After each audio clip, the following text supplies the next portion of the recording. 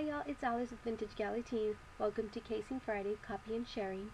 So today I'm coming to you with a envelope that I'm, uh, I guess, uh, decorating or doing um, some mixed media. It's more of a mail art, and I know I bring my mail arts on Mondays, but I wanted to show the technique, kind of feature more the technique and the artist that taught me this. And I got this technique from Phyness. Hi Phyness, and she's um, pink, fluorescent pink glacier on uh, YouTube, and I'll leave the link below of her channel and of the video that gave me the inspiration to do this. She does an awesome technique and it's brilliant.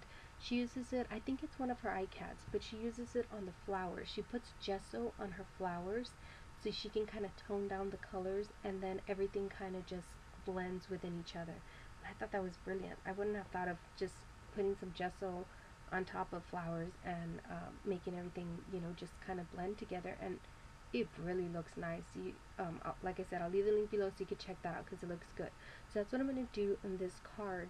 I mean, I'm sorry, this envelope. Um, and this envelope also is going to um, to Candace. She hosts the swap at yourpaperpantry.ning.com, and um, the the swap there that she hosts is a mail art swap. So this is going that way. I've created, um, I'm creating actually five different ones. So I send in five and I receive five back. So it's, it's a lot of fun. The community is awesome.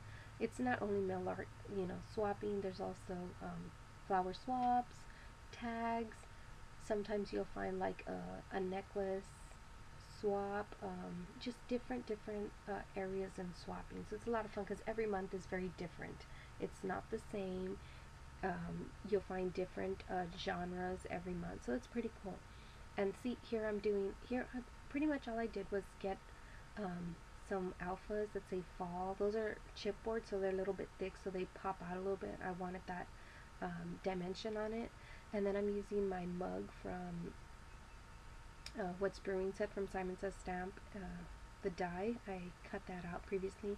And then I use a butterfly that I punched out also a while back. Just using little scraps here and there. And then I'm going to get my wipe and I'm going to wipe some of that off just so you can see the paper and the texture of it as well. And um, I really like the way this envelope turns out. I love it. It um, it's just really cool. Uh, I thank you, Phyness, for showing us that technique. I really, really like it, and I'm pretty sure I'm going to continue using that technique uh, throughout other projects. Um, it's really cool. I also use some rub-ons. I use some stamping. I use some stickers.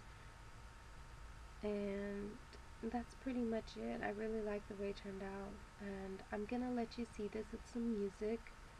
Um, I'm trying to think if I'm missing anything else. I'm gonna leave. Okay, I'm gonna leave the link below to Phyness's video that inspired me. Then I'm gonna leave the link below to yourpaperpantry.ning.com.